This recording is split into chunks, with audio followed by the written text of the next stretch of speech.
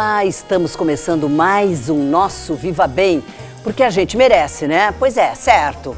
Hoje nós vamos falar sobre a saúde mental da mulher. Alguns dos assuntos que vamos discutir hoje vão tratar sobre os problemas de humor, a influência dos hormônios, a mudança na vida das mulheres em decorrência de vários sintomas como ansiedade, além da transição da vida reprodutiva para a não reprodutiva. Como encarar então o envelhecimento com saúde física e mental? Para falar sobre este assunto, eu converso agora com o médico psiquiatra Jerônimo Mendes Ribeiro. Pois é, doutor Jerônimo, é um grande prazer lhe ter no programa para a gente falar exatamente da nossa vida, né? E as nossas telespectadoras e os nossos telespectadores, que é muito bom para os homens conhecer cada vez mais as mulheres, né? Com certeza. Nós temos um grande prazer de falar sobre este assunto, um assunto um tanto delicado, né, doutor? Porque leva a muitas confusões e rótulos para nós mulheres, né? Sem dúvida, Isabel. Isso, primeiro, é, é um prazer estar aqui, né? Conversando e tendo a oportunidade de poder conversar um pouco sobre a saúde mental da mulher, porque é um assunto realmente que ele implica em rótulos, mas ele também implica em diferenças, né? E que bom que existem diferenças Sim, entre claro. os gêneros, que bom claro. que existe a peculiaridade de cada é, gênero. E eu acho que é importante sim a gente destacar que a transição para a vida da vida não reprodutiva para a vida perdão da vida reprodutiva para a vida não reprodutiva, ela faz parte de um processo fisiológico, né? Uhum. Entretanto, existem coisas que acontecem e que são, de fato, necessárias de se conversar, porque a gente vai poder atuar em prevenção ou detectar casos que, de fato, vão poder fazer a diferença né, para a claro. saúde dessa mulher. E isso é fundamental. A gente sabe que isto é um fator da nossa vida. E a gente, todas nós, todas as pessoas, querem chegar ah, lá na velhice e chegar bem.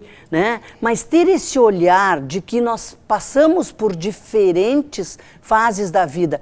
E essa é fundamental. Falar de hormônios, a gente está falando de vida e de turbulência. Posso dizer assim, doutor? Sem dúvida. Existem fases que para a gente ter ideia, a, a, a depressão, até a, a, primeira menstruação da mulher, ela é encarada como tendo uma taxa muito parecida ou igual até a primeira menstruação. A partir da primeira menstruação da mulher, passando por períodos como é, pós-parto e o período todo ali entre a gestação e o pós-parto, e depois na transição menopausal, esses, essas mudanças, essas variações, é, muitas vezes caóticas, mas fisiológicas, elas podem sim influenciar no humor, inclusive desencadeando transtornos, né, por exemplo, um episódio depressivo, uhum. né, ou no período pré-menstrual também algumas mulheres desenvolvem é, um desconforto muito grande nesse período, embora a maioria delas apresente algum grau de desconforto, algumas elas elas realmente elas precisam de um tratamento. Pois é, mas aí nós chegamos num ponto que eu chamo a fase da delicadeza, né? Quer dizer, como é que a gente vai ter esta disponibilidade tendo uma sociedade que nos rotula muito? Quer dizer, as mulheres são semelhantes, mas são diferentes. Tem umas que passam por uma situação muito difícil, eh, por exemplo, eh, pré-menstrual, tem outras que não passam tanto. Nem por isso esta vai deixar de buscar ajuda, doutor. O que, que é depressão e o que, que é tristeza também, né? Sem é outra questão fundamental né, da gente tocar. Quer dizer, nós somos só semelhantes, nós somos diferentes. Excelente a tua observação, porque, na verdade, quando a gente fala em depressão, a gente está falando numa síndrome clínica, né, que implica num prejuízo funcional, obviamente, né, mas que é, o limite entre o normal e o patológico ele é muitas vezes é, muito tênue, né?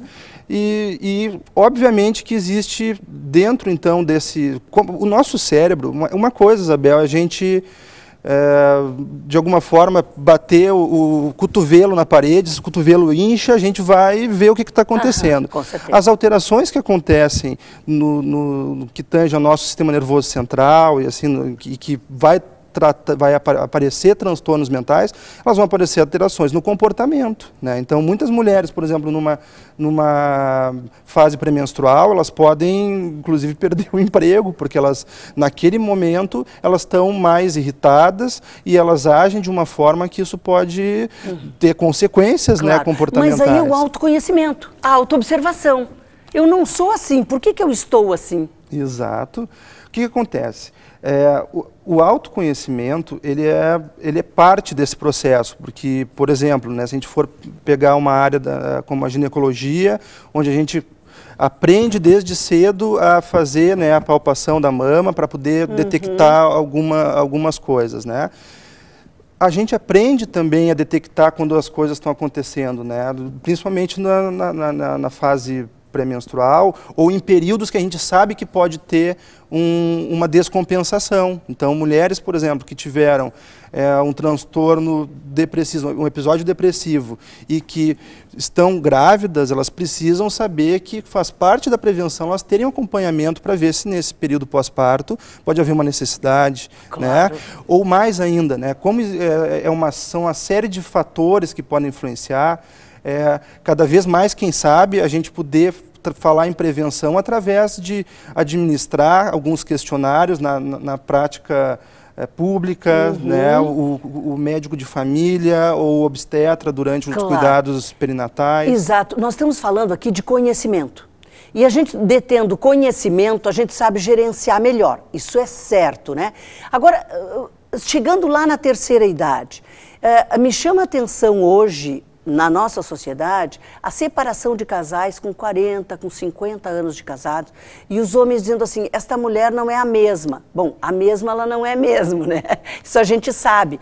E a gente está eh, tá situando aqui, me chama atenção isso, porque nós estamos falando exatamente desse ponto nevrálgico, dessa mulher saber que ela se modifica na menopausa e desses homens saberem que as mulheres se modificam na menopausa e que isto tem uma curva diferente de uma para outra. Umas Exato. precisam de ajuda, outras não. E a saúde mental, então, na terceira idade, tem que ser mais focada. Concorda comigo, doutor? Sem dúvida, concordo sim. Primeiro porque a mulher, nessa transição entre a vida reprodutiva, né, que a gente chama de transição menopausal, nesse período, as variações, muitas vezes o, o ovário ele começa a produzir é, de uma forma caótica e errática os níveis hormonais, os esteroides sexuais. Então, muitas vezes ele vai produzir mais e outras vezes vai produzir menos. E essas alterações, que um dos marcadores para a mulher entender são os sintomas vasomotores, que a gente chama né, de são os fogachos, os calorões, aquelas ondas de calor que a, que a mulher passa esses são, digamos, marcadores dos, desses, dessas oscilações hormonais.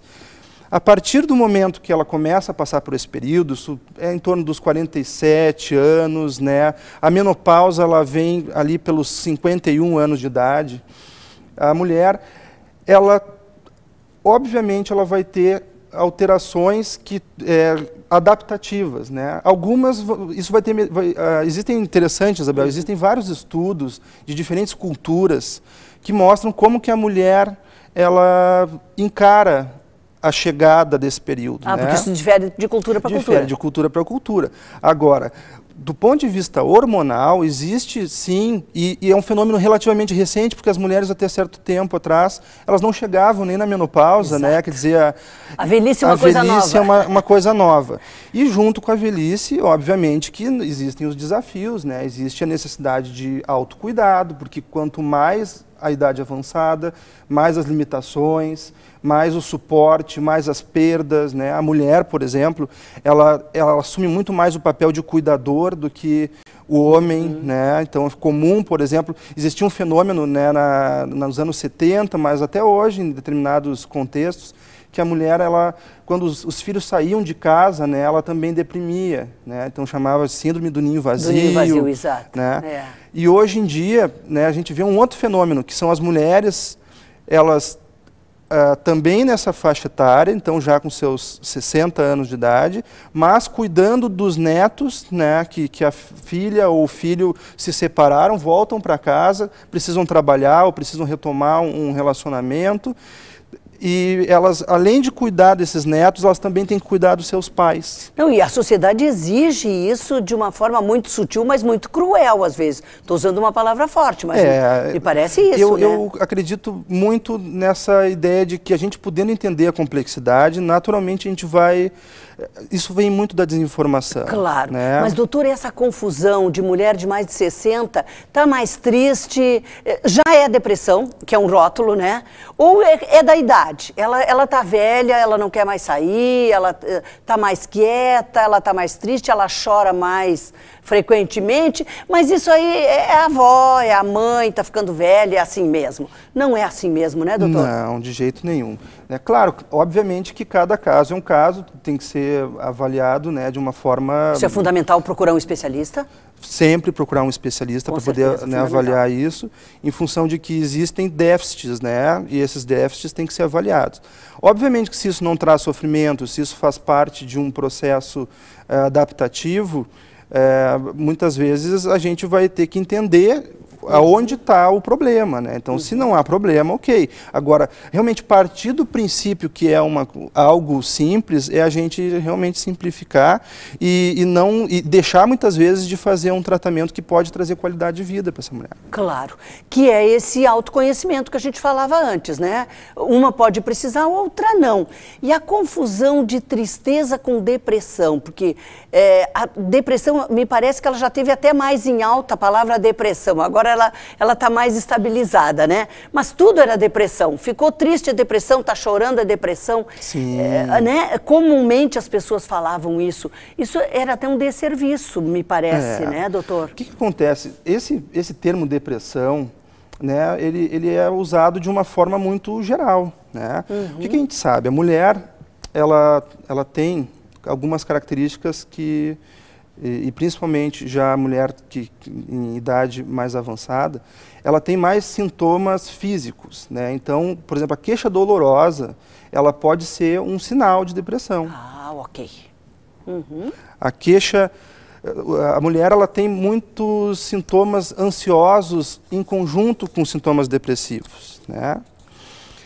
E, e isso, né, é, é necessário a gente ter é, cada caso, porque são características, né, e, são, e é importante que as pessoas, os familiares, eles saibam identificar isso e acompanhem essas pacientes, né, porque muitas vezes uma, uma mulher é, em uma idade avançada, ela precisa do relato do seu familiar, e isso consegue de alguma forma abranger melhor assim o que a gente precisa coletar para ter um, um, diagnóstico mais adequado, uhum. né, mais eficiente. Que é isso que a gente é, constata hoje, que esse atendimento familiar, esse envolvimento, melhor dizendo, da família com a situação, vai esclarecer mais facilmente para o especialista, muitas vezes, o que, que está ocorrendo, né? Não raro as mulheres realmente muito debilitadas aparecem em consultório, sozinhas. Uhum, claro. Não raro as mulheres, elas, elas, elas, isso também é um sinal, né? Porque claro. o baixo suporte social, ele é um sinal de, de, de negligência, de abandono. Claro. E é difícil falar nessa palavra, porque ninguém quer ser negligente, né? De alguma forma, mas... É, é necessário a gente poder entender que muitas vezes algo simples pode fazer toda a diferença, né? Olha, um, um é telefonema. excelente essa colocação do doutor. Eu vou ficar aí. A gente vai um pequeno intervalo e já volta para a gente saber da prevenção e do tratamento de situações como as que a gente já falou até agora. Já voltamos. E nós continuamos aqui a nossa conversa com o médico psiquiatra Jerônimo Mendes Ribeiro sobre a saúde mental das mulheres, de todas nós, né? É, doutor Jerônimo, a gente falava sobre todas essas questões e a gente falou de muita coisa em pouco tempo, né? Mas a gente sabe que é assim mesmo que a gente vai conseguir que vocês estejam aproveitando em casa o que a gente está conversando aqui. Mas vamos focar um pouquinho mais agora nesse segundo bloco sobre a prevenção disso, né? A gente sabe que tem todos os medicamentos à disposição, a gente sabe que tem os tratamentos através da fala, através da exposição desses sintomas e do que, que angustia a pessoa, né? Esses encontros tete a tete são fundamentais, como é que a família pode auxiliar, porque o certo é que tem remédio e Deus ajuda quem procura, que nem diz o outro, né? Dizia minha avó. Mas a gente procura melhorar, Deus diz sim. E isso é verdade mesmo, né? Procurar o especialista, até para se tranquilizar, muitas vezes os familiares estão vendo como um quadro mais sério e o especialista vai esclarecer que aquilo não é tão sério assim. E o contrário também é verdade, né? Às vezes minimizam e precisa de ajuda, né? É. Então, como prevenir? Pessoas que estão, tenho certeza que estão em casa, então pergunta, Isabel, a minha avó que não quer sair, a minha mãe, que assim já não se arruma muito, já não tem nem interesse por ficar banhada, por ficar mais cheirosa, por se, se arrumar. Isso tudo é um sinal, doutor, de, e isso é prevenção? A prevenção. Até atacar nessa, nesse caso? Ótima a tua questão. Acho que isso é, é, o que mais aparece, né? A gente em busca de informações de como manter a saúde, né? Certo. Então, para prevenir, a gente precisa ter ideia de que a gente está com essa saúde. Né? Uhum. Quando a gente fala em a mãe está em casa e está sozinha e não está querendo sair, não quer falar e não quer se alimentar, né? A gente está falando talvez já de um quadro ah, clínico. Perfeito. Então, é necessário a gente poder uhum. diferenciar disso. Né? Então, Tu me perguntaste sobre o que, é a diferença de, de tristeza, de depressão. É, obviamente que essas coisas elas não são sozinhas, elas fazem parte de, de no contexto da, da clínica, na prática, né, elas aparecem com diversas matizes, eu acho que é essa a ideia que eu quero trazer. Mas em termos de prevenção, a gente pode sim falar que, primeiro de tudo, né, um episódio depressivo lá atrás, não tratado, pode ser um fator de risco para um novo episódio. Um, um episódio é, depressivo que foi tratado de uma forma menos abrangente da, da ideal também pode ser um fator de risco. Agora, tem os fatores que a gente não consegue controlar, que é o curso do transtorno. Né? Então, quando a gente fala em depressão, a gente fala em algo que pode ter um curso de um episódio ou de mais episódios, recorrentes episódios, e que podem cursar de, de maneiras diferentes, com sintomatologias diferentes, com desfechos diferentes. Né? Claro. Quando a gente está falando em, em, prevenção, a gente está falando basicamente de manter uma saúde. Uh, que, que, é uma saúde saudável. E é interessante isso que é, a gente sabe que o Japão, ele é o, o país onde a, existe a maior longevidade, né? Uhum. E junto com isso vem os desafios da longevidade que a gente estava conversando, claro, né? Quer dizer, claro. Como que a gente vai lidar com uma população que cada vez mais envelhece e precisa de cuidados? Então a gente precisa, em termos de estrutura, seja de governo, seja de ações, de, de políticas em saúde né, do idoso, de, de prevenção, então de como criar estratégias para poder chegar nessa idade com mais saúde. Né? O, no Japão, né, tem uma ilha que chama-se Ilha de Okinawa. Essa ilha ela é o, o, lugar onde tem mais centenários. Uhum. Né? E, essa, e nessa ilha viram que existiam algumas peculiaridades que podiam trazer mais saúde, um cérebro mais saudável, digamos assim, na longevidade, na, uhum. na terceira idade. Então, o que, que se viu? Que essas pessoas elas comiam mais é, peixe, então alimentos como o bacalhau, como o salmão, né, de fato salmão mediterrâneo, né, é, o atum, todos eles são ricos em, em ômega 3, é uma dieta então rica em, em, em é, uma alimentação, por exemplo, como com azeite de oliva extra virgem, né? Esses, esses japoneses também, eles, eles tendem a ter é, mais atividades de hortaliças, então eles cuidam do jardim, eles cuidam da sua horta, eles têm uma vizinhança uhum. que conversa e eles levam a vida de uma forma menos estressante, sem claro. aquele tudo ou nada, sem aquele é, decisivo isso, né? O estresse ele também é um fator, né? Então isso para demonstrar, né, como que a gente chega mais longe e mais saudável. E bem. E, e com mais, mais, vida, com mais qualidade, Isso. que é o que a gente toca aqui no programa. Mas está ficando claro que a nossa saúde geral está equilibrada, a saúde física, mental e social também, a partir da, do que a gente também ingere, do que a gente dá de alimento para esse organismo, né? E a gente vê, e o senhor coloca uma situação assim que eu acho fundamental, que é atividade, quer dizer, eles cuidam da horta. Horta é uma coisa viva, não tem coisa melhor, pelo menos para mim, mexer na terra e ver crescer uma planta. Então aí a gente já está pegando uma outra questão fundamental, doutor, que é o humor na terceira idade que é o humor necessário para uma saúde mental. Exato. Concorda comigo? Concorda comigo? Sem dúvida. Quando a gente fala, então, é, em saúde, a gente fala também como a gente chega nessa, nesse período, com que saúde que a gente chega. Né? Quer dizer, é, a gente sabe, por exemplo, que a depressão, em qualquer período da vida, ela faz sim a pessoa não ter vontade. Imagina uma, uma pessoa que é convidada para ir numa academia que está num episódio depressivo. Uhum. Ela vai sentir até deslocada nesse ambiente, né? claro. né? Porque ela tá, o humor dela, eu, eu, eu costumo dizer que eu, eu não trato as pessoas falam em, em saúde integral, em, uhum. em, né, o organismo ele não é compartimentado, mas para o paciente entender, muitas vezes a gente conversa sobre não, eu preciso tratar o teu humor, porque contigo ah. tu é uma pessoa Aí tem que... que compartimentar. Exatamente, tu, claro. tu é uma pessoa, essa pessoa ela está aqui na minha frente, mas a gente precisa tratar esse humor para parecer essa pessoa saudável, né, que, que tu conhece, que tu precisa te, te reencontrar. Então, a, depressão ela traz sim uma má alimentação, ela traz sim uma, uma, uma piora na, nas práticas de atividade física. Então, esse gente... é um histórico praticamente uh, geral do depressivo. Exatamente, exatamente. Está contando com isso, uma má alimentação, né? É evidente que isso está embutido. Isso, e outras coisas também, né? Quer dizer, aquilo que a gente passa durante a vida, porque é, existem estressores que realmente eles são estressores que, que de fato é, são difíceis de lidar. Ah, e cada pessoa reage de um jeito, né? Então, quando a gente tenta generalizar né, estratégias, a gente muitas vezes diz, poxa, mas eu tento fazer isso, eu não consigo.